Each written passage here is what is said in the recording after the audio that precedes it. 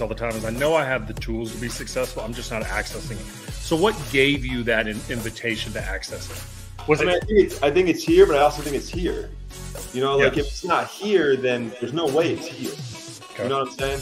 Yeah. Um, because like if it's not in your heart, then you're not going to get out of bed every single day on those hard days, on those days where you don't want to do it, right? Because we all have that. There's no secret to that. Mm-hmm.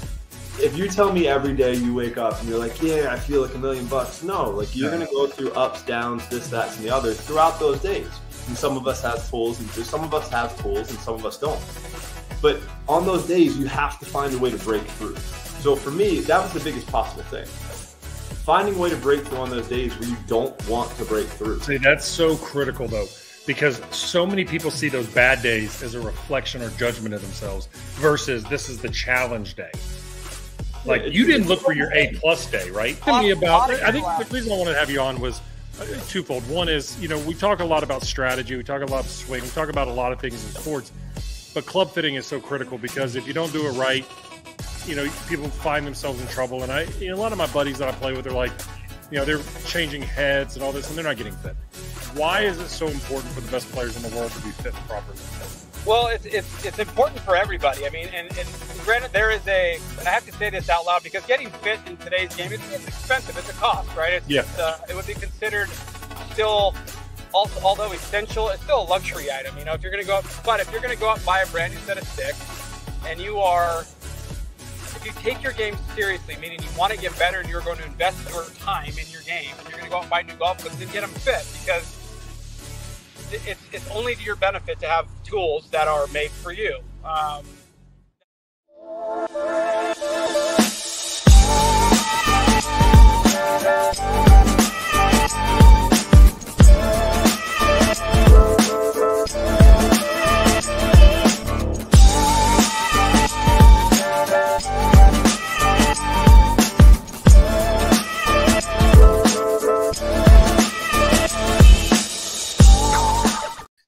Hey, welcome back to Mental Game Live. Here we are in episode 19. 19 in the uh, LSU baseball world is the great Ben McDonald. So, uh, one of our beautifully recorded and up on the, the stadium wall forever. Um, but uh, glad to be back. And this week we get a lot of really cool things started in Mental Game Live. I'm leaving tomorrow to go to FedEx to the St. Jude Classic, which is the first round of the PGA Tour playoffs.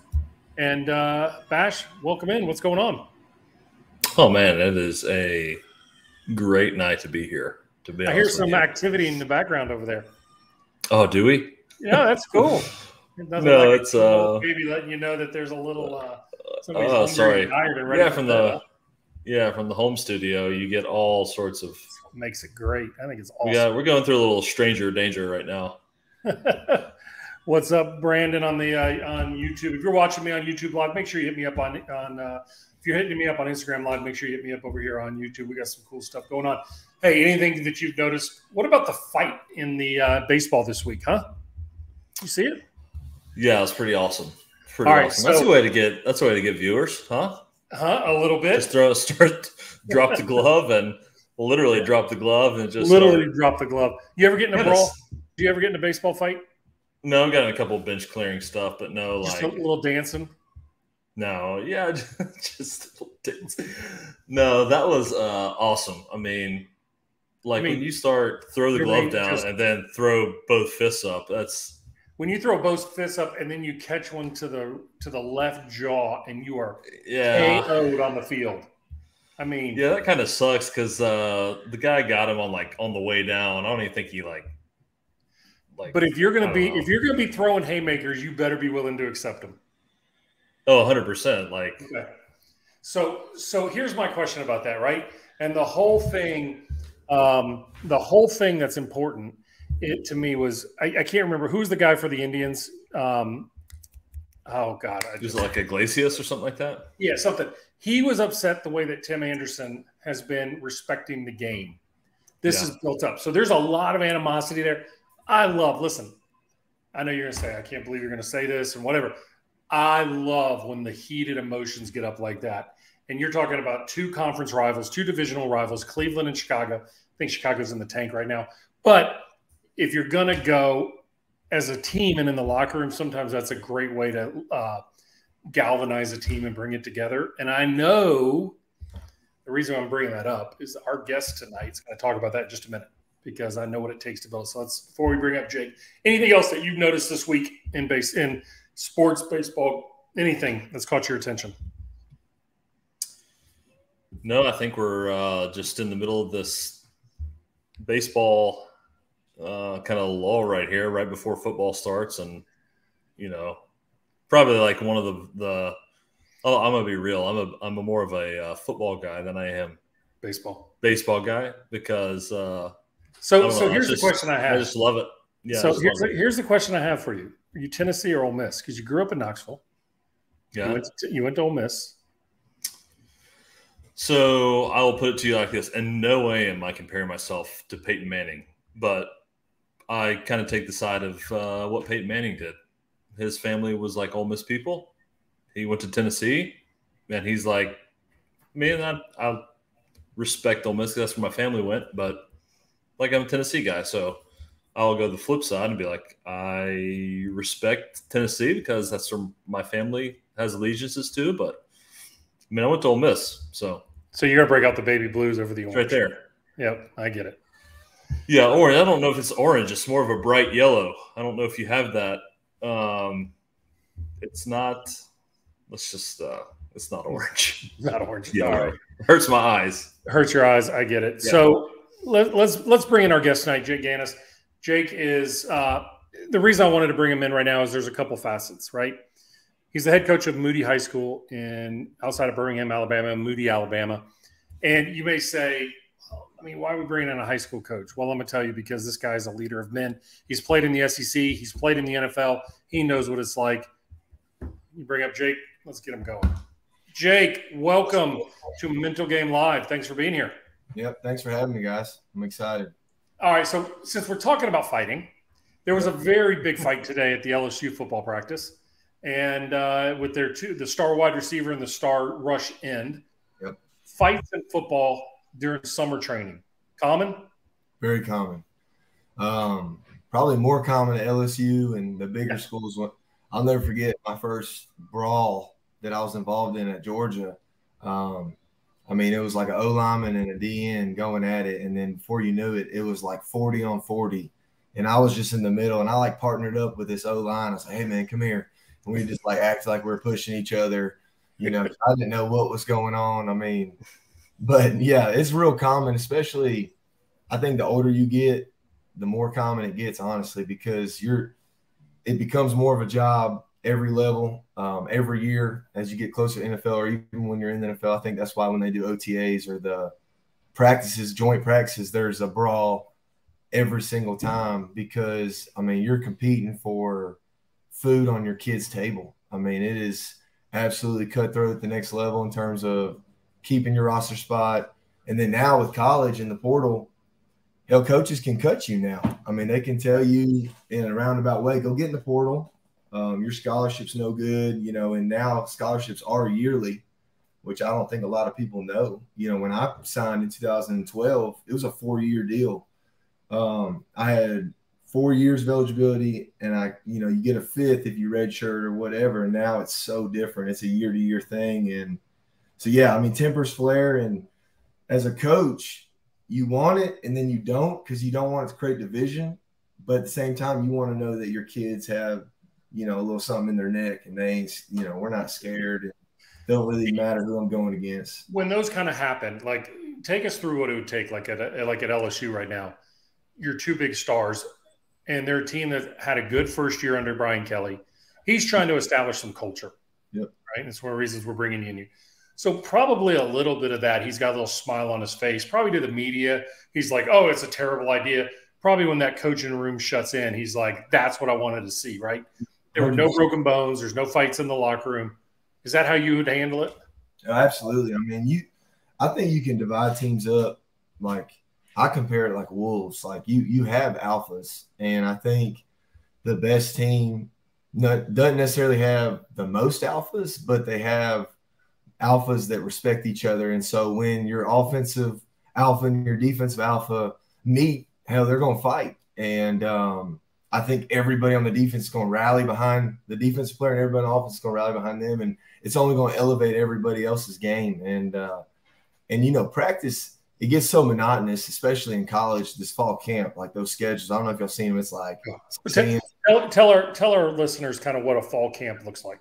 Oh man, so you know when I I don't know how many schools are doing it now. I think a good bit probably. But we went in a hotel, uh, even at UAB and uh, Georgia, and I mean you got 6 a.m. wake up, 6:45 breakfast, 7:30 tape treatment, eight o'clock position meetings, you know, nine o'clock practice, 11 o'clock, you're done, shower, you know, lunch, maybe an hour or two downtime, then you're back up there for meetings, special teams walk through, meetings, lift, dinner, meetings, lights out by 10, 10 30. And it's every day.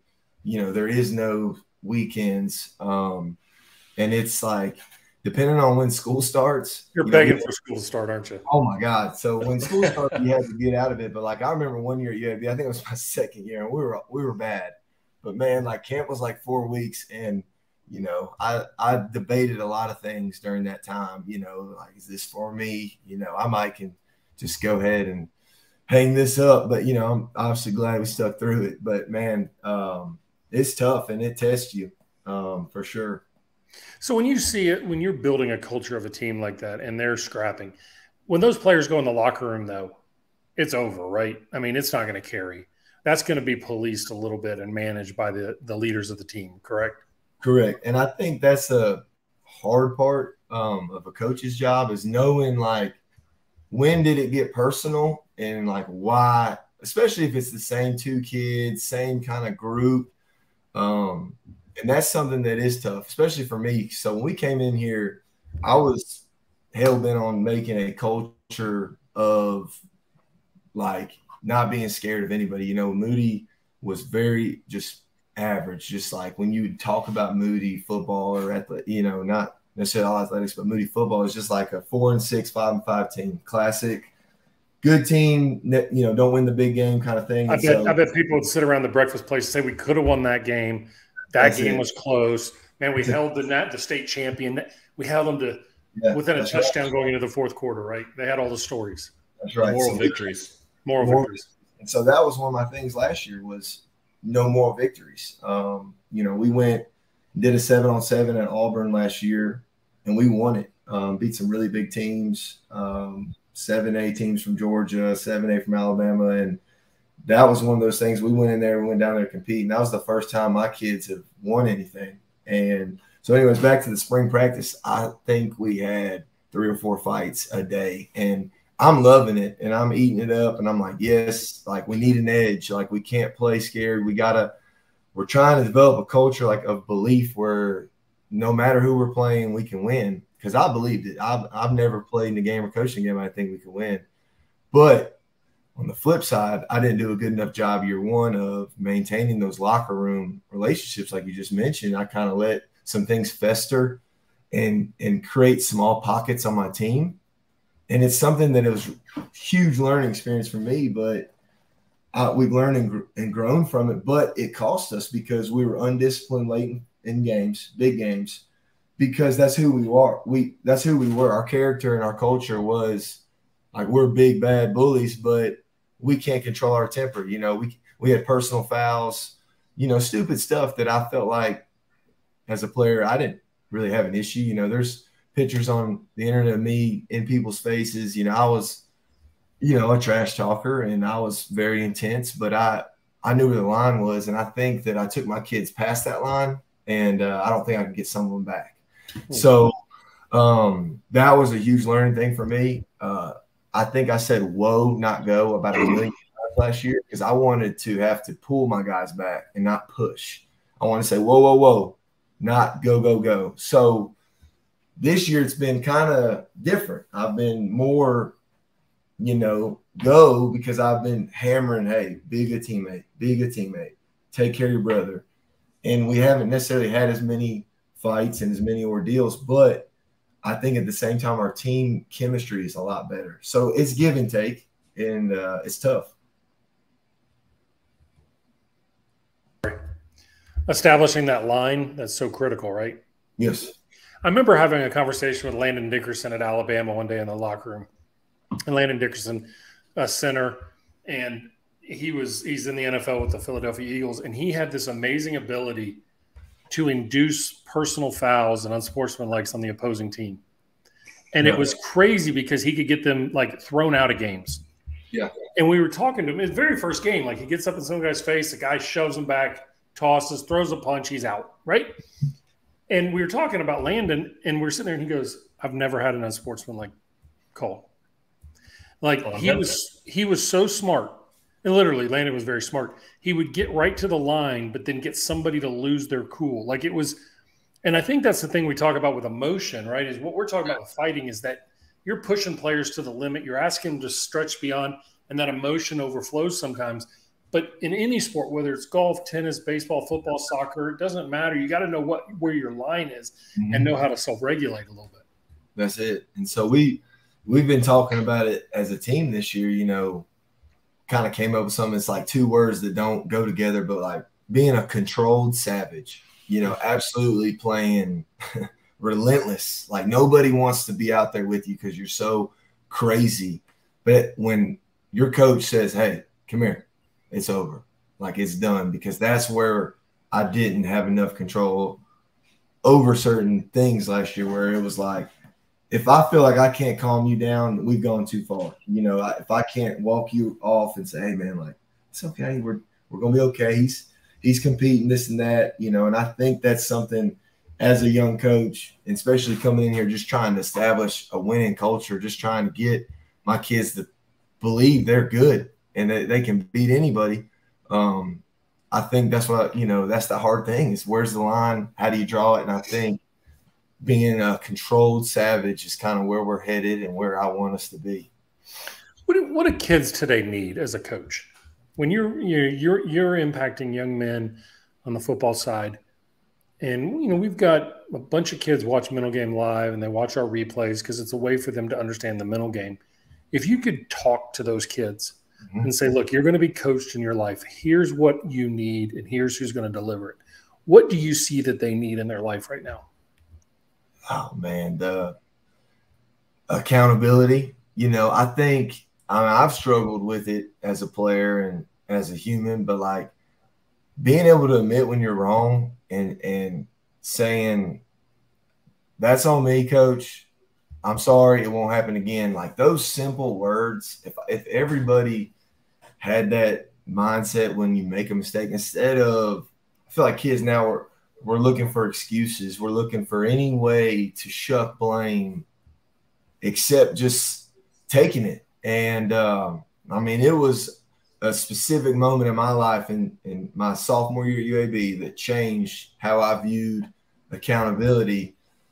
Um, and for me, you know, it's always easier just to admit that you messed up, you're wrong, you, you, you know, whatever. As a coach, player, uh, educator, whatever it may be, and just and then try to correct it and fix it instead of digging a hole and coming up with this excuse and this reason why. Because I think our kids are really good at coming up with every reason why it's not their fault, and I think it's really not their fault. It's how they're it's how us adults are raising them right now. Like I don't think people always say, you know, our generation, mine uh, especially millennials, like we were raised by the the greatest generation, you know. So I, I, I don't know, you know, that's just how we were raised. So if we're what's wrong, then now we're raising a different kind of generation. But I think that that discipline is really important. A lot of our kids don't have male figures in their life, so we are it.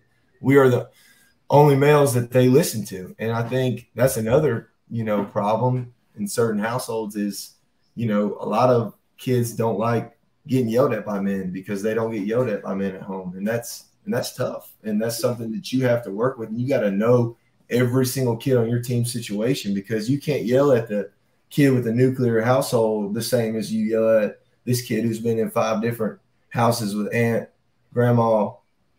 It's completely different, and they're going to handle that situation different. So I think getting to know these kids and like digging deep um, it's head coach and then my position coach's job to kind of relay that information because we we can't just grill this kid when when hell he's not eating when he goes home. I mean, yeah. he no food in the fridge. So that's going to change the way I view him, and I look at that rep where he loafed. Well, he might not have any energy. so right. it just changes things. And, uh, and, and, and when a coach is yelling at him, it may be the first person that's verbalized any kind of feedback to him. Yeah. And while they may not see that as as support, they may see that as getting put down. Bash and I were raised in baseball programs where we learned that the national pastime is what, Bash? TOB, no TOB. No TOB, no transfer of blame. So you got to share your story about what happened your sophomore year. Okay. Yeah, I'd love Let's to. Hear it. I didn't know if we were going to get there. Uh, Let's go. Come on. Oh, man, this is so You're bad. not going to tease us and then not go. Uh, this is, it's it's it's bad. But okay, we're playing um, Middle Tennessee in 2013 at Legion Field in front of about 8,000 fans. Um, we uh, we're winning. There's a much nicer stadium at UAB now. That's right. Protective Stadium. It is nice. So we're playing Middle Tennessee. It's the very end of the game. Um, they've got the ball, no timeouts, and they've probably got enough time for two or three plays. They're on right. You can say the fifty. All right. They they throw a shot, or no, they run the ball. Excuse me. They run the ball, which we're in prevent, so they go all the way to about the five. We're running down and there's about no you know no time left but the clock stops on the first down and two of my guys are running down the field and it's about to be a penalty well my gut reaction because like we're our d linemen are way off sides is just to call a timeout we had a timeout at least we can get lined up they get lined up and we can still have a chance because i didn't know i just it's just a gut reaction thing so i call a timeout go to the sideline head coach is losing his mind on who called the timeout. He's yelling at the white hat. He's yelling at the defense. He said, "Who they call?" They said number four called it. Coach McGee looks at me. He said, "Jay, did you call the timeout?" I said, "No, I didn't call a timeout." And he's like, "You sure?" And I said, "Yes, sir." White hat comes over and said, "You didn't call a timeout?" I said, "No, I didn't call a timeout." And like it is so intense. It's like six seconds left. Conference game. It's so bad. Well, Goes to the post game interview. We lose. They score. Um, goes to the post game interview, and all he did was kind of rip the rest of this timeout, this phantom timeout that didn't happen. And so I see that Saturday night. I'm sick to my stomach. I'm like, man, what should I do? You know, I don't say anything. So Sunday we come in for a team meeting. Comes in, he walks in, cuts the TV copy on. There's a cameraman eye level in the end zone right at the last play, you see number four for UAB turn around and do and do this. like cut it, cut it, cut the tape. This close, and he cuts it, and he and I was a team captain as a sophomore. I was, I think I'm, I was one of the only ones to ever be voted team captain as a sophomore at UAB.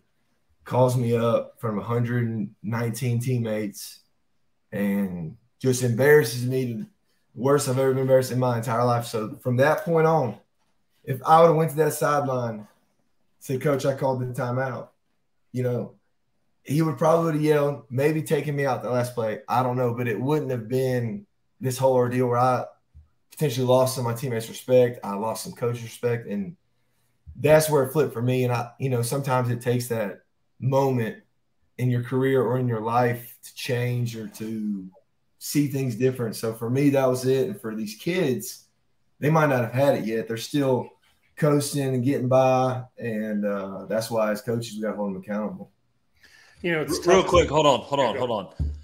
Why didn't they, I'm just curious now? Why didn't they want you to call timeout? Uh, see, and that's so that's my re, you know my reason. I appreciate you, man. So I, I was asking this. I was like, hey, but it's a, it was, a heady play, thinking, man. I thought I was missing a stupid answer, so I wasn't going to ask it. No, I'm I thinking. Mean, I'm, no, I'm just. I just remember thinking like, man, this is going to be a false. This is going to be an offside. So it's 100 percent offside. Yeah, it's going to be a free play. So I figured they're going to throw it up. It was like a fade. So I called the timeout because I just wanted us to get him a defense that at least we had a chance on that. Yeah, at least you know, let us lined up. Yeah. Yep. And so they ended up running like a sprint out, kind of typical goal line play and scoring and winning. And uh, and that's all coach, you know, that's all he talked about was that timeout. And so I should have just, yeah, coach, I called it. I, I, was a team captain. I had that authority on the team and with the staff, especially. I shouldn't have been so scared. But again, I was young, uh, 19 years old, and I learned that lesson right there. And so that's something that, you know, I haven't told that story publicly, but I'm glad I did because I tell that story to my kids that have trouble with accountability. I call them in here and I tell them each that story. And um, and I said, "Look, man, on your side, man. That's a good timeout." I appreciate. Yeah, I thought it was. Yeah, yeah. I mean, but I, I, I, yeah, go, go ahead. ahead sorry, sorry. No, no, no. no, no, go, ahead, go ahead. No, I was just going to say, I'm fascinated too. You're captain at you. You were captain at Georgia when you transferred, right?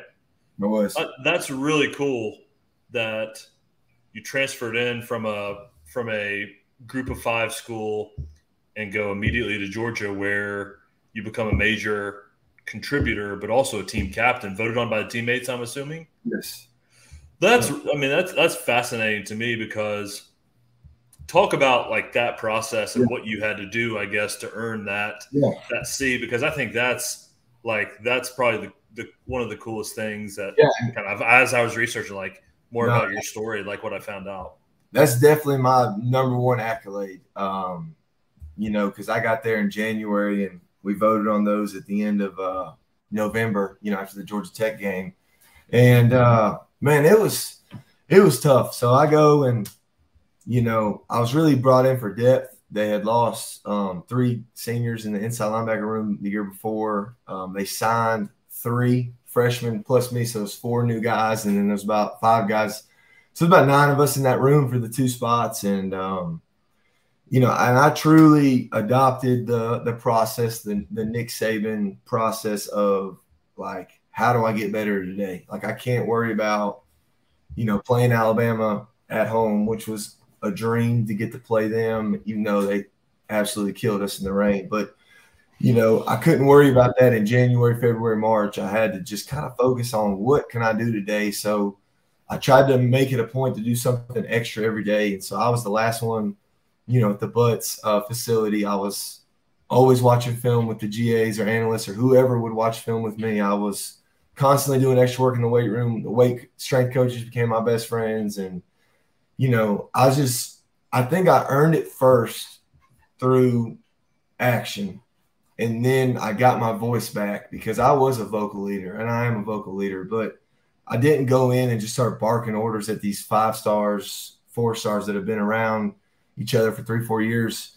You know, I was I was treated like a freshman. It was so funny because I had to go to orientation, and I'm, you know, I'm about done with school completely. I have 120 hours, and I'm in here with these freshmen, early enrollees, like looking at. I'm like the grandpa, you know, like it, and so I just kind of had to start, you know, from the bottom, literally, and work my way up, and uh, it was really fun. And I, I could I could feel certain teammates you know, like, you know, respect as we went along. You know, maybe one guy he saw me run the extra sprint for the O lineman that couldn't finish. Maybe this guy saw me up at the facility at midnight watching film. You know, whatever it was, I think I slowly kind of earned it through my work, and uh, and then I got my voice, and I was ended up, you know, kind of leading the defense. And we were we were a good defense that year. We were top ten defense, and you know, I was proud of what we accomplished.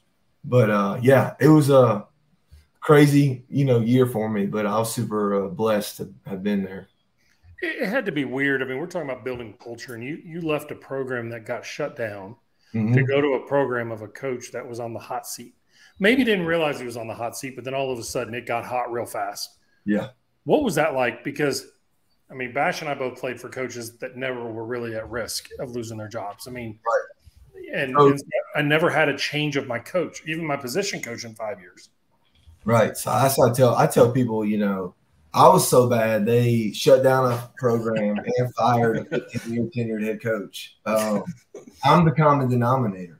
so, um, you know, I get there and I knew that, you know, like, hey, got to win the big one. That's that was the thing. Got to win the big one, and uh, and we didn't. You know, we we were close, not with Alabama, Tennessee, even Florida early in that game, and finished, you know, 10 and 3. But there was a lot of turmoil that year, you know, that people don't really know about in terms of the staff. Um, you know, as players, we don't, we're not in staff meetings, we're not in the coaches' locker room, but we hear murmurs, we hear this, and I think that there was a divide, you know, in the coaching staff with certain coaches kind of gravitated toward this and this. And you know like me and you talked about with we tried to be like Alabama and we weren't Alabama um, in terms of like our strength um, program and stuff like that. And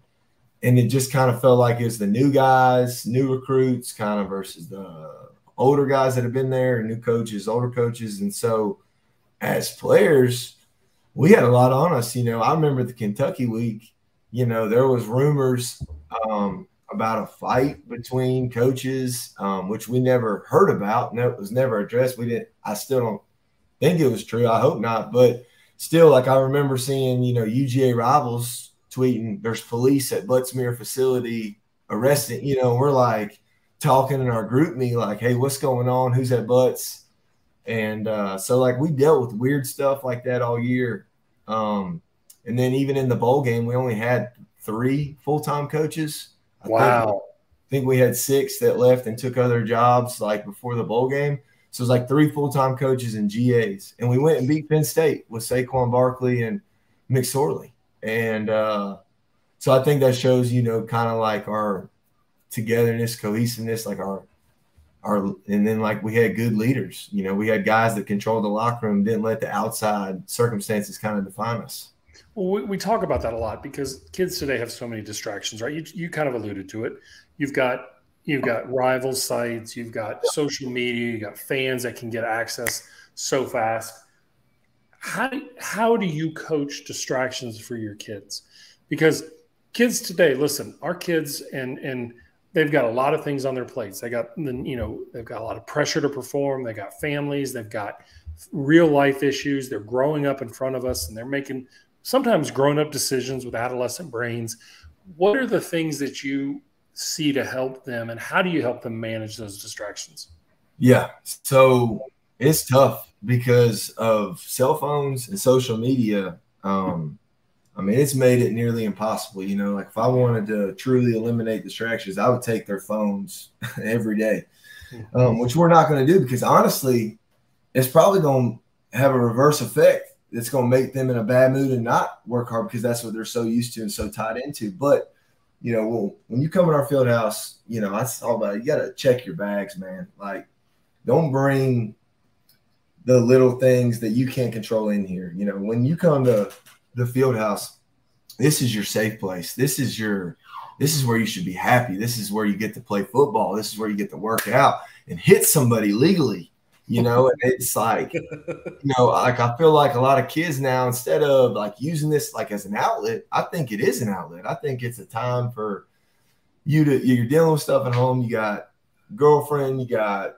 teacher don't like me you know i got all this homework well man come to football and lay somebody out like take all that aggression put it to good use on this football field and so we talk about that as a team man leave your bags at the door like don't don't bring that in here and let it affect your day. I mean, this is this is a unique opportunity. You're only in high school once.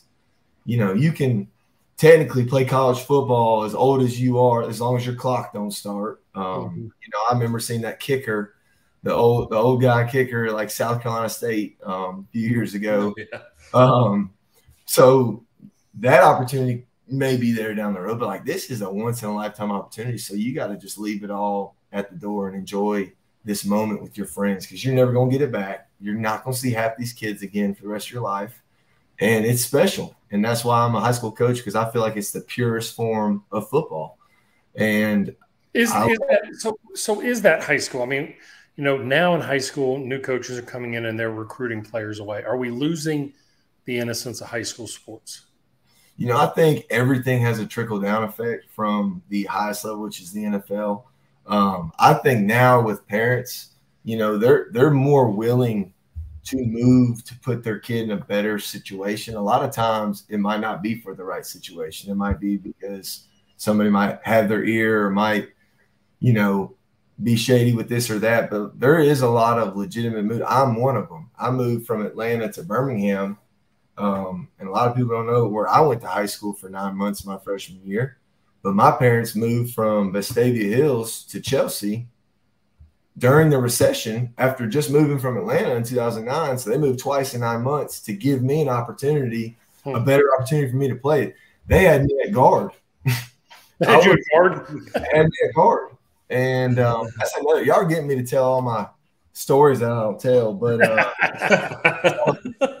I feel like I'm a, I, you know, pretty good athlete. Um, maybe not the best, but and I wasn't very big. I was tall, but I was skinny. So, anyways, I played guard. So my parents, we lost. I know they lost money, and I haven't, you know, paid them back. You know, mom, dad, I love you, thank you. Um, but I, I moved twice for better opportunity, and so I think that now with social media, with you know, the different avenues that people have in high school sports, with you know getting recruited earlier in terms of college recruiting, you know, like I think it's crazy that that it's allowed, but you know, if you got this 2027 kid getting an offer, but you have a really good 2027 kid, well, you're going to try to go and get him an offer, even if it's going to piss off every kid that's in the class above them.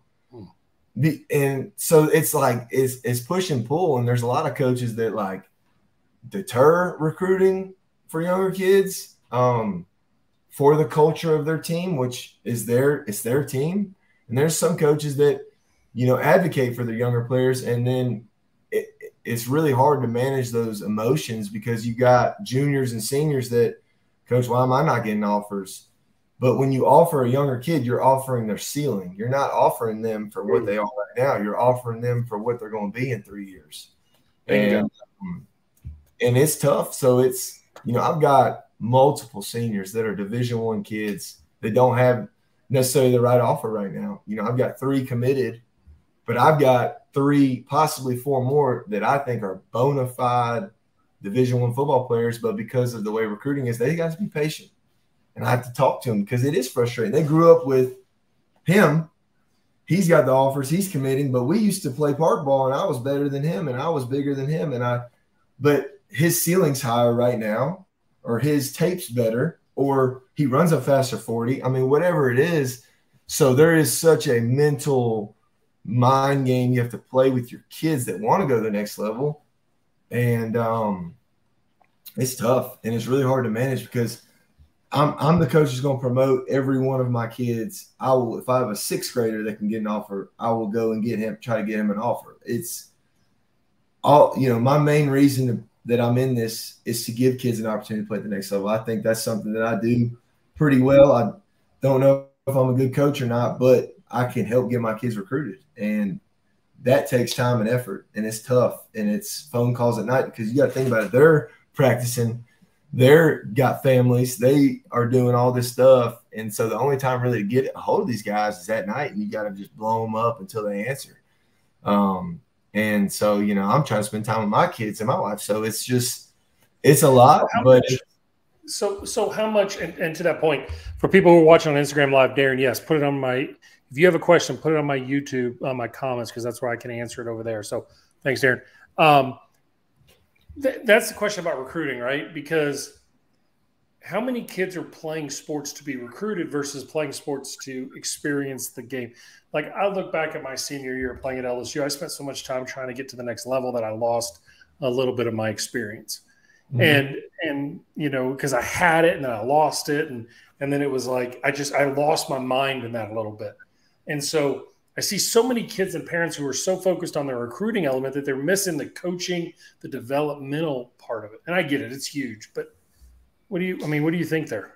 Yeah, it's you know I I didn't play baseball past um, sixth or seventh grade, so I wasn't obviously anywhere near y'all two. But I, I go back to thinking about how youth baseball is now, and this is just me observing. I don't have like my you know my son's a year old, so you know, but like I see these parents at travel ball tournaments every weekend Mm-hmm. You know, I, I, give my principal a rough time because every time I call him, he's got two boys. Every time I call him, he's at a baseball field, practice or a game. And it's like a keeping up with the Joneses. It's like, well, he's playing fall ball, so we got to play fall ball. Oh, well, he's playing all stars, so we got to play all stars. And it's the worst. And, and it's like it's awful. Okay, but, but awful. Somebody setting that standard. But then social media comes out with a piece that says coaches love multi-sport athletes. Oh, they they do. How?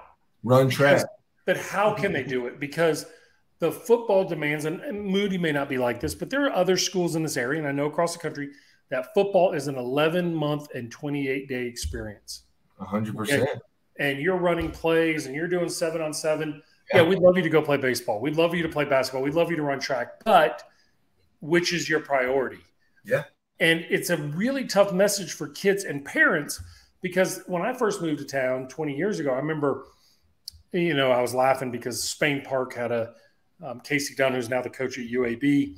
He was the head coach at uh, at Spain Park High School for baseball, and their indoor baseball practice facility was broken into. And I was like, we didn't even have one at LSU. We had to go down to the batting cages downtown after hours and get work in.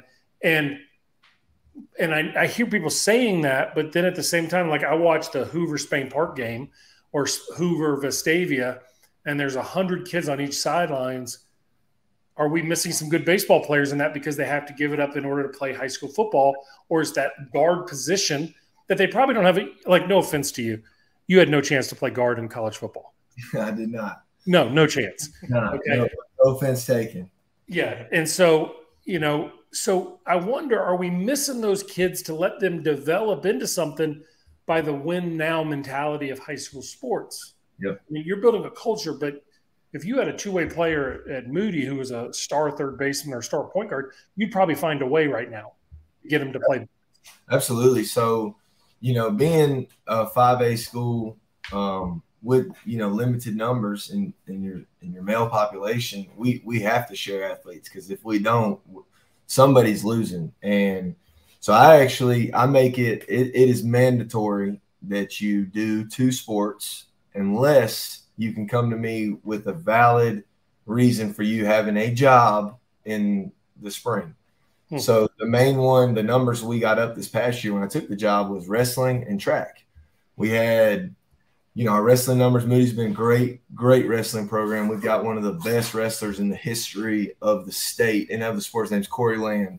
If you hadn't heard of him, you can Google him. He's been in the Olympics. Um, he's at Northern Iowa right now, and he is. I mean, he, I don't think he lost a match in like two 347 matches in a row or something like wow. that. Won five state championships. So, anyways, Moody's had a strong. So, first thing I said is, "Hey, Biggs, you're either going to throw or you're going to wrestle." I told my skill, "You're either going to run or you're going to wrestle," and and that was it.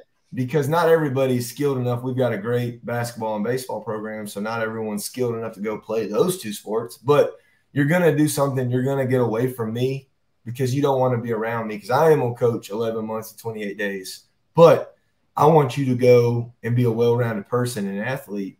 And that's something that like I don't think 7As have the luxury of that. I think that you you do have to evaluate as a parent, as an athlete, the specialization of a, of a sport. And I think that's a really hard decision to make. I think that if I was at Thompson, where I was for five years, it's not that the coaches not necessarily won't let you play the other. It's just like, okay, if you go for three months and play this, we'll just know your backup's here working for three months. You know, and it, it and that conversation is not even being had. That's just the kid thinking, that's the parent thinking, and it's it's it's all across the board in 7A, you know. Yeah. And I think being at a 5A school, you know, our basketball program right now, out of 12 varsity players, 11 play football. Wow. 11, and which is awesome. And baseball, you know, that's more like a of a sport where not every baseball player can play football, not every football player can play but play baseball. But we've got, you know, 20 in the nine to 12 that do both. You know, we've got a huge number in that. And then obviously everybody wrestles or runs track or throws. Um, so, so what would you tell parents in that? Because let's say they are at a 7A school and, and, yep. and I, it, it's tough because you have kids who grew up playing a sport and they, they love football or they love baseball and they want to be able to do both. They feel like they're falling behind, but there's got to be some value they're bringing versus I mean, like a guy who's out there playing baseball or playing AAU basketball or something. I mean, yeah. how, like, it, I, man, I think it's like it's I had daughters. I had daughters, so I didn't have to deal with this. It's got to be an individual, like per player basis, you know. So I'll just give you a good example. I coach a linebacker at Thompson named Jax Van Zant. He's at North Texas right now, um, playing football.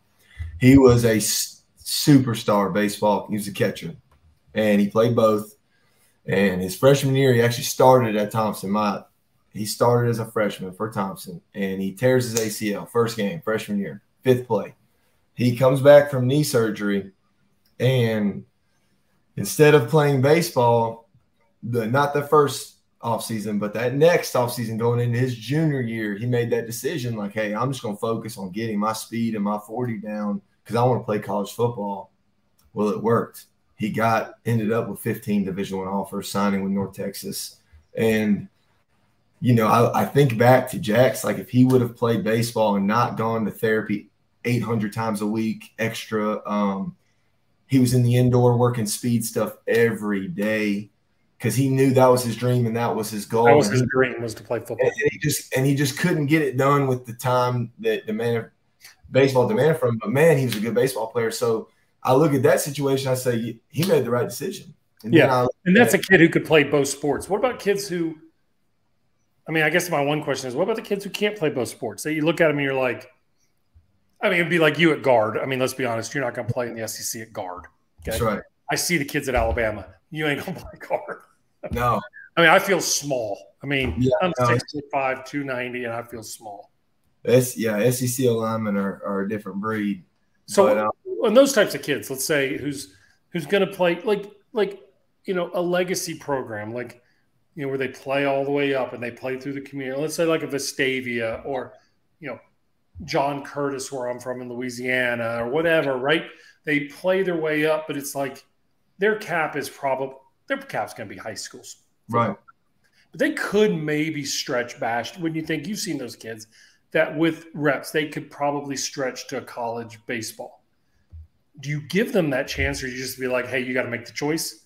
I, I think you have to try to give them that chance. And I think that's that conversation that it's uncomfortable um, at times to sit a kid down and say, hey, look, man, I don't really see you going to the next level or playing, you know, like, hey, is it division one or bust? You know, a lot of kids are like that. Oh, I just want to play D1. Oh, yeah.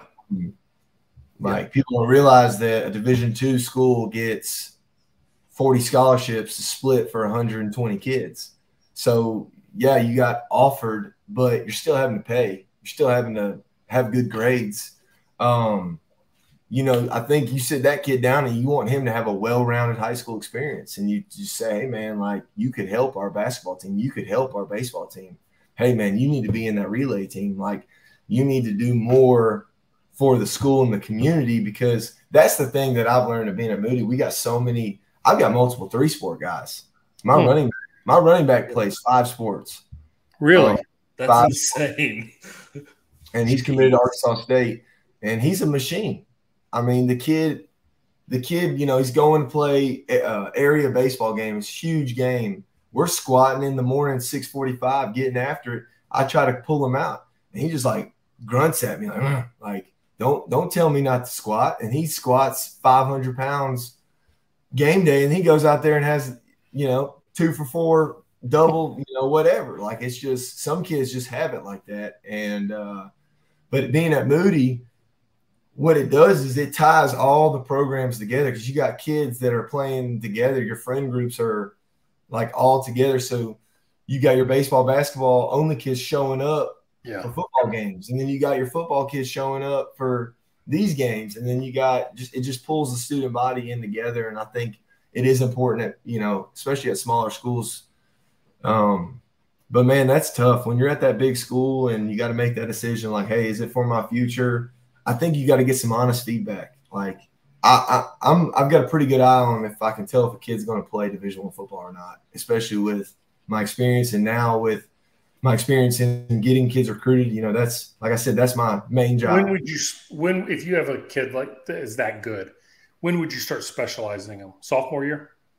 I think so. So typically, your junior year is your money year, is what I tell people. It's your money year for recruiting. Well, it's changed. It's now almost your sophomore year. Like, tell me an a kid that Alabama's offered going into, you know, like they're going to offer. So, the class of 2026 is your rising sophomores. They are going to offer those kids, they've already offered a bunch, but they're going to offer those kids this next cycle, December, January, February, kind of. They're, they're two classes ahead. Georgia's two classes, three classes ahead. You know, I was talking to Coach Freeze at Auburn, and you know, he's obviously he recruits quarterbacks. Like he's he's like they're ahead, and it's you got hey, you can have a really good 2025 quarterback. It's too late; they already got their guy going into his junior year. What about and like so, late bloomers? Because I'm I'm a little sensitive to the late bloomer kid. Hey, I, was, I played one year varsity. Yeah, and I had one Division one offer out of high school, so you know it it, it's just. I guess with the transfer portal now, you can go wherever you get started and move. Yeah, nothing wrong with that, right? It's like uh, it's that's like got to make you sick, though, doesn't it? It does because it's te- it's killing my kids. But it's like NFL head coaches. How many recycled NFL head coaches do we see? Like this guy gets a job and then, then he gets a job just because they were at this job. And it's the same way with the portal. So once you're in the club, you're good. Like you're you're gonna have a place to go but getting in the club's never been harder. And I've got multiple, multiple coaches have come in this office and looked me in the eye and said, Hey, uh, what do you got? And you know, we look at tape, all this. He goes, Ah, safety, we're going with two portal kids. And you sit there and you said, Okay. And uh, so they already know because if they're losing two seniors, they're going to go find, you know, if you're a mid major, why would you not go and comb Alabama, Auburn, Georgia's roster for those second, third string kids that aren't playing that are going to hop in. Yeah. So, and flip wise, if you're the big schools, why not go find a sophomore at a mid major that's grown up and developed, and absolutely. you've got college tape against an SEC school? Yeah, he's proven. That's how I got to Georgia. I had a good game versus Arkansas in 2014, hmm. and uh, you know, again, got her.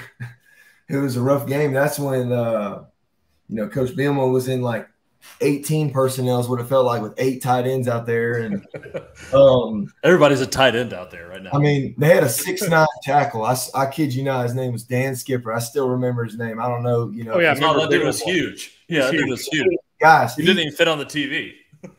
so, funny story about that game. Y'all remember the O lineman that threw the touchdown? Do y'all remember that in 2014? Oh, yeah. The big, the big Samoan. Yes. So he it's a fake field goal. Samoan, the Samoan, the 6'5, 400 dude backs up. And we're all like, what the heck's going on? And the center, the snapper was eligible. So I come off the edge, freaking Samoan dots me up over my head, and the snapper catches a touchdown. I'm like, I'm like, oh my God, this can't like this just couldn't get any worse. What's going first on thing, right First thing I'm I'm asking is why why did Arkansas waste that play on UAB? I don't know. It was like it, it's probably like a 40 point game at that point. I maybe just put it on tape. You know, but hey, you know, I know you're an LSU fan. Yeah. You know that I'm one and zero oh versus LSU. I, you know? I understand. Yeah, I understand. I didn't know that. Someone told me that the other day. I had no clue. Let's go. They said, "Hey, you know that 2013 they had to vacate their wins," and I started thinking, I said, "Oh, we went three and nine that year." I said, "Let's go." We got the old Les Miles days, right? I mean, hey, but look, you know that was the game Odell Beckham one-handed the. That was goal. that game, wasn't it? He took it 109 yards versus us, and then Auburn did that in 2013. About four weeks later, because Miles Long said in his press conference he saw the tape. Yep, Isn't that funny. Pick six. That, that was a close game, though, wasn't it, against LSU and UAB? No, it was Mississippi State we always played one team tough, and it was well. Les Miles always played everybody close, so that's why I was wondering. I mean, hell, no. man, had to come back with four touchdowns. We, said, we went in that game. We said, "Hey, they're not going to run the ball. We're going to put as many guys in the box as we can." Zach Mettenberger got a helmet sticker because he threw for like 800 yards. So, you know, well, hey, they didn't run the ball. I'll tell you that. By God, we were. It was that was Jeremy Hill, Odell Beckham, Jarvis. I mean, it was all of them. Stupid. Who's who of uh, Dude, as, guys. As an LSU alum, we look back at that team and go, Wow, really? And I think the defense was bad that year um, because they had this unbelievably loaded offense and probably still averaged 210 yards a game because Les Miles was a potato head. Um, he's the only person that has blocked me on Twitter, and I've never said anything about him on hmm. Twitter. I don't, know why. Anyway, I, I have no loss, blood loss now. The Mad Hatter. I don't know. I don't know. Roll Tide. Um, so, last question before we let you go, and I think you know this is when when a kid's being recruited and you're developing culture and building that relationship with them. When a co- when a player comes to play with, for you or goes to play for a college, what do you want them to look for in the program? Are they going for the coach? Are they going for the school? What is it? Because high school is the same way, right? I mean, I hate to say it now, but you got to look at what, you know, and, and, being from Louisiana, we're very heavy private school there. And so kids are going to shop the private schools. I mean, there's no, there's no districts. I mean, you're going to where you're going to go. What do you tell kids to look for? You know, I think with the state of college coaches bouncing so much, you know, and – and then I get it from their perspective. Like if you're not getting ahead of this potential staff change, it could be your coordinator leaving, it could be your position coach leaving for better, and you're the GA. Like it's constant chess in college. I think you've got to go and commit to the school. You got to go and see yourself there as a student. Not, you know, don't you don't have to go and say, oh man, they don't have biomedical engineering. You know, it's just got to be, can you see yourself being happy there as a student? And if you can do that, to me, that's the first. The second thing you I can hear the fight song and feel it, you know it's your place. That's right. And I think the second thing you look at is like atmosphere on Saturdays. And then does that college town or fan base value football? And then obviously the coaching staff is important. Like I had a couple kids with power five offers. Well, we had to have a tough talk that those coaches, I had to tell them, hey man, they're on the hot seat. So if you commit now, they're fired in November, no December, and then that new staff says, "No, we're not signing you." They don't owe you nothing, and then you could be left with your pants down with nothing when you've got this committable offer. This new staff, you're going to be their first signing class. You're going to be their guy. You're going to be tied with them. You know, so those are things that I have to sit down with my players and parents and say, "Look, I don't feel great about this situation at this school. I think this staff's on their way out." I think this staff just got there and is building something special. I know it's a bigger school or it's a better conference, but this is the best opportunity for you next year. And that's something that we have to look at. We sit down, we look at depth charts, we look at roster numbers, and we look, you know, we try to get as in depth as possible before making that big life changing decision. And I think, you know, we've done a pretty good job so far. I'd be remiss not to to bring us back to Moody High School. Um, you're building something there. You talked about the people that didn't quite buy in when when I came over and met with you. Um, They didn't quite buy in. They didn't know what it really meant. They were they were doing the best they had with what they knew, right? right. And you've changed the line for them. You you taught them. What's your vision for Moody? What do you want the people who are watching this to buy into Moody, to understand the vision that you're creating, so that the buy-in of those young men on your team are all in on together with what you're trying to accomplish? Yeah. So I mean, you I come in and it's um, you know, the first thing I start talking about is state championships.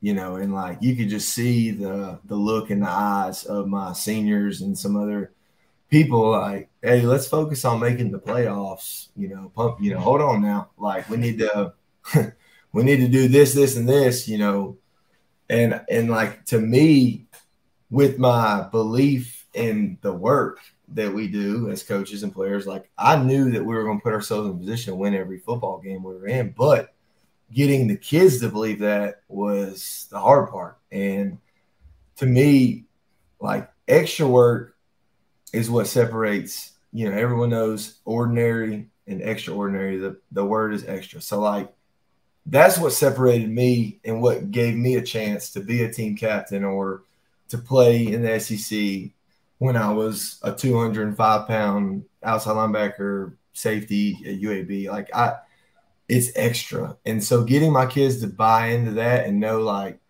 like we'll go as far as they want to go. Like my coaching staff is, is the best and I trust them and like putting them in positions to be successful. But like somewhere in this state, somebody's working always, and you have to tell yourself that. I tell myself that as a coach. So, you know, I think we came in and changed some things, kind of flipped flip some things upside down. And I think you see the momentum in the community. You know, we're getting a brand new high school, $62 million high school. We got a $1.3 million turf field last year. We've renovated the entire field house, new locker room, $85,000, $72,000 weight room. So, like, the community is investing and they're invested in us. And then what you've seen is every sports program in our school had the historically we had the best year in the history of Moody High School. Historically, basketball, softball, like top down, and I think that football fuels a school year. I think that when you have a good football season, your academics are better, your discipline's down, and I'm sure there's studies to show that. And that to me, I take that personal because I get to I get to set the tone for the school year. I get to set the tone for how our English teachers get to get after in the classroom. I get to do that as a football coach and really for the community because like the pride in Alabama for high school football, everyone knows it's special. I mean, it's religion. And that's why like I'm here and I do do this. Like it, you know, you walk around Moody and it's football season now. Like you're gonna see somebody, they're gonna let you know, you know, that was a bad call versus Leeds or whatever it was, you know, they're going they're going to let you know how they feel, and it's so special because people in Moody, especially, like there's so many people that grew up here and now live here. You know, there's a lot of communities like where I live in Chelsea. You know, I I know some people that are from that area, but most people I know from Chelsea are transplants. They they've moved in like me, and um, Moody is just different. It, it feels like people want to come back. You know, they want to come back home. And even the transplants we do have, they've adopted the community or been adopted by the community, like me. Um, I feel like I'm like I was born and raised here just from 18, 19 months that I've been here. And so I'm trying to build not just a football program, but a community that sets the standard. You know, there's a lot of schools and programs that are, you know, copying certain things we do or sayings and um, it's it's awesome. It's such a compliment and it's flattering because we're setting the standard and we're doing things that no one's done, and then people are playing catch up. And I want that to be, you know, all around. You know, we actually had a social media PD professional development this morning for our faculty where we talked about putting a positive video or encouraging post every week for every classroom teacher because we want people to see the good things we're doing in the science lab in the home ec classroom. Like we want people to see it's not just football, it's band, it's cheer, it's that's the holy trinity Friday night. But we want to take it that much further as a community. And I think you've seen the buy-in. I mean, we passed a tax to increase our tax. So you look at a community, to me, that tells you if you want to grow or if you're not. If the community passes a tax where they have to pay more money Uncle Sam so that we can have better schools and better resources for our kids, that was a big decision me taking the job. That tax passed right before I took the job in December last year. And that told me, you know, yeah, it's an older community, but what they, they want change, they want growth. And I said, you know what, I can I can win there. I can win be, not because the kids necessarily, but because the community. And when you have community support in a 5A football school, you know, it, it's everything. And so I, I'm just super thankful. You know, it's so cool. It's so cool to hear you say this because we talked about this in your office a week and a half ago, but or last week. It's so cool to listen to this because if you're listening to this and you're a business leader, you're whatever, listen to the vision, but the vision that has accountabilities with it. It's not just so many coaches get a job as like, let me just coach ball, let me just coach players, and they fail to see the reach that they create. The greatest college football coach ever, and Coach Nick Saban at Alabama. I did a study, I did a, a lit review. Excuse me, not a study. I did a lit review when I was giving a talk to the American Psychological Association about the impact of college athletics. And the financial impact on Coach Saban in the city of Tuscaloosa is monumental. Mm. The amount of applications to University of Alabama, I think, have doubled or tripled. And you consider that an application costs what, 75 or $150 for every application. The ACT score has increased exponentially. The average GPA, the number of students have doubled. The build out has increased it's ridiculous. And you're doing that in a high school level. But you could obviously repeat that at a college level because it's the it's your vision with action steps that have accountabilities associated with it. People always talk the big game, but they don't know how to lay down the big game. Yeah. And then you're also doing that by empowering the kids underneath. And somebody left a comment on YouTube I thought was great. It popped up. But It is you got people to believe in the vision of what you're trying to do and to believe in themselves. And you've got an entire community believing in you. That's why I wanted to have you on because I knew that you have this charisma about you. Um, that that's got a vision associated with it. It's more than just being a you know a, a, great player, but you know sitting down with you for three or four minutes that day. I mean, I sat with you longer than that, but immediately I knew it was like this guy. There's no bullshit here. This is real stuff. Yeah, it's it's personal. You know, I I, I just I don't know. I, I wanted to be a head coach as soon as I got done playing. Like I was like, yeah, I don't. I just want to skip all the steps. I just wanted to go, and I just wanted to, you know, have my have my program and then be able to implement, you know, influence the community and and others because so when I got to Thompson, I just said I just kept telling myself, I'm the head coach in my room. I'm the head coach in my position, and I did things the way I thought. And so when I took this job, I said, you know, I, I'll be okay. I'll just do what I do with the linebackers. I'll just do it with more kids. And so what's been really cool is getting grown men and coaches with me on this on this train, you know, on on this journey. I you know, there was four or five coaches that are still with me from the previous um, staff, and I've brought in a bunch. Um, we've got 14 full time coaches, 15 including me, and so getting like seeing that was probably cooler than seeing the kids because it's easy to influence a younger, you know, the freshmen, sophomores, man, they bought in like that. That's all they knew. Seniors was the hardest, but what about the coach that's been under four head coaches? at Moody High School. Like, oh, this Joker's full of you know crap. Like he don't know what he's talking about. He'll be gone in a year, anyways. Right? Yeah, like he's you know, and again, it's that Georgia model we talked about. I I had to be vocal, being the head coach, but like I tried to try to do with action. The first thing I did, first thing I did, I met with the senior. I said, "What do y'all want? Let's switch it up." They said, "Coach." New uniforms. I said, "Oh, you know, it was January, Under Armour. It takes forever to get those in. So I called the guy. He said, Look, I can do these if we order them by here. I do a light bulb fundraiser. I kid you not, we sell light bulbs. And I say, Look, y'all sell these light bulbs. I will buy you a new set of like alternate jerseys. We sold them. I bought them. So, like, there was me telling them something and then doing it. And then I said, Okay, I'm gonna get y'all a new weight room. I'm gonna go fundraise. We're gonna go get you a new weight room. We go and fundraise. We go get the money. We go buy a new weight room.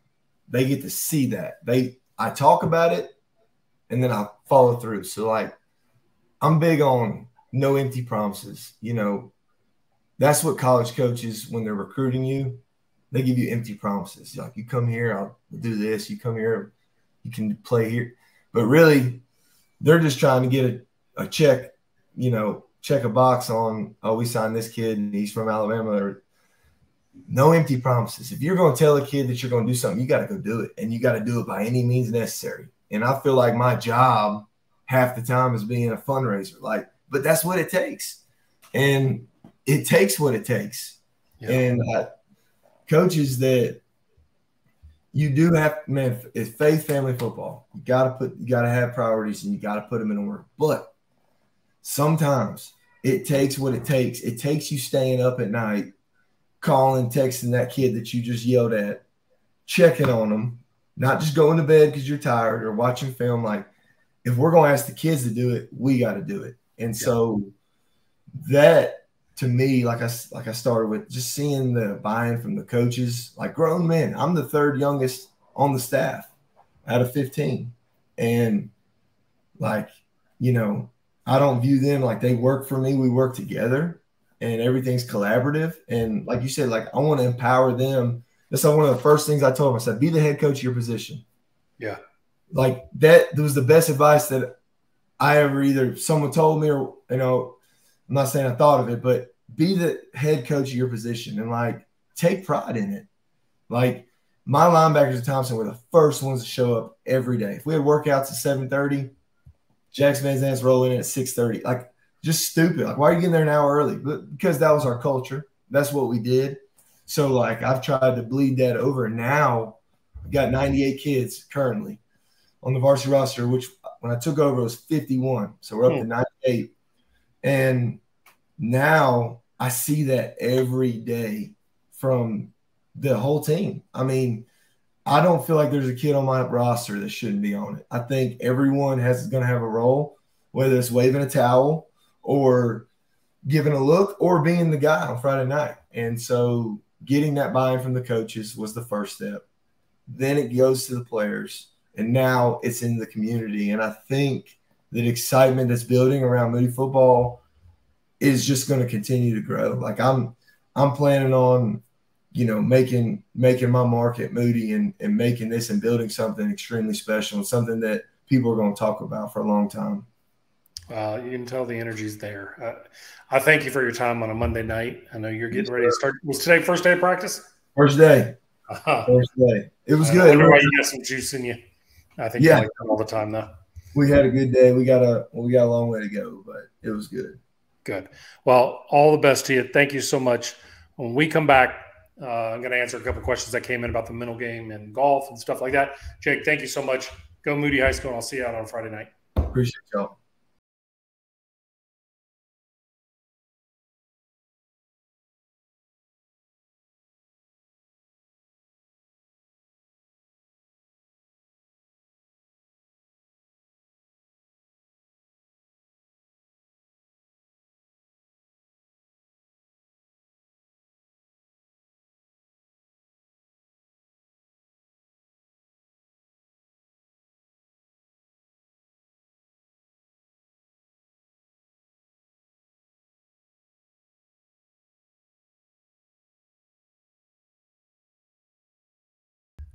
All right, Bash. I don't know about you, but I'm ready to go play high school football at 50, almost 51.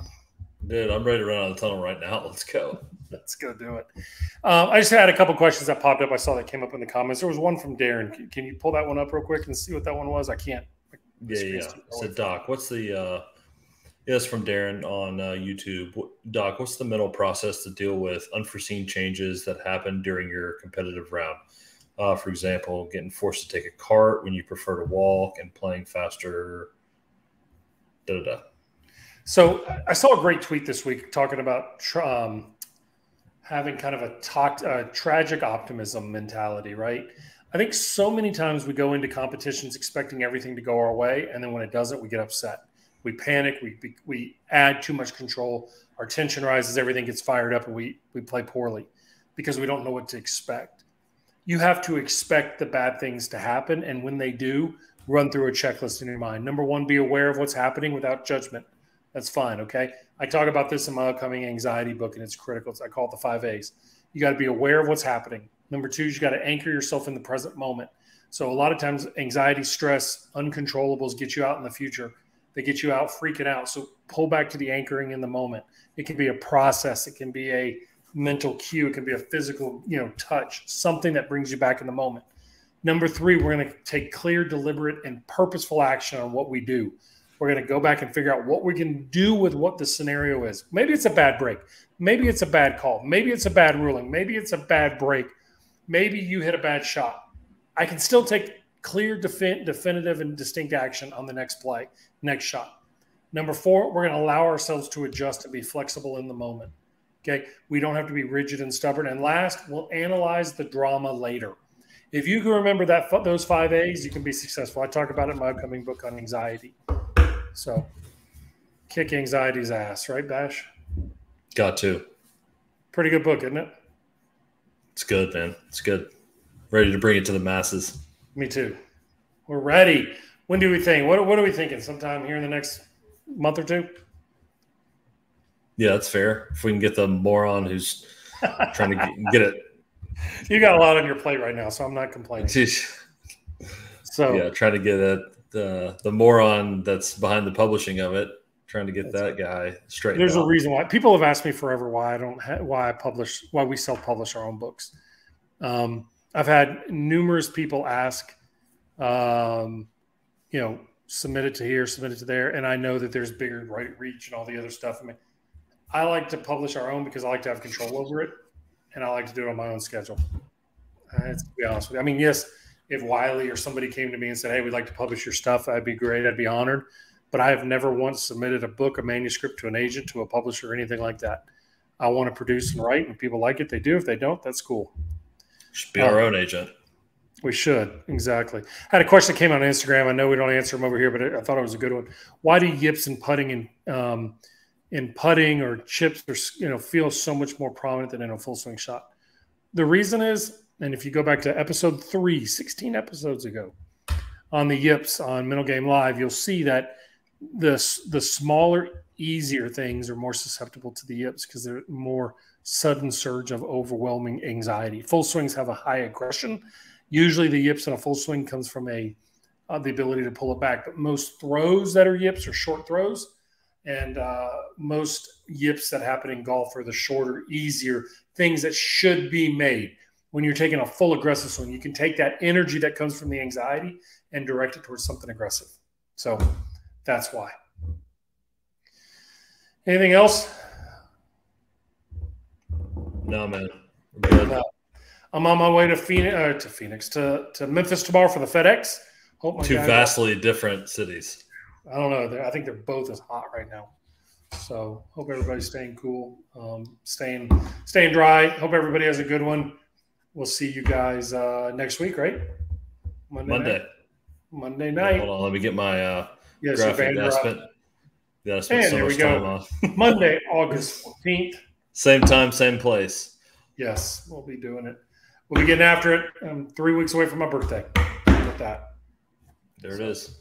All right. All you guys have a good one signing off for tonight. Make sure you follow us on social media. Make sure you hit a like. Tell your friends about Mental Game Live. Find a place out there right now where you can have live question and answer on your mental game for you, your players, your teams, all that. We do right here and we bring the best guests to you. It's not just some recycled group of guests. We bring guests that you'll never hear anywhere else. We bring them to you live.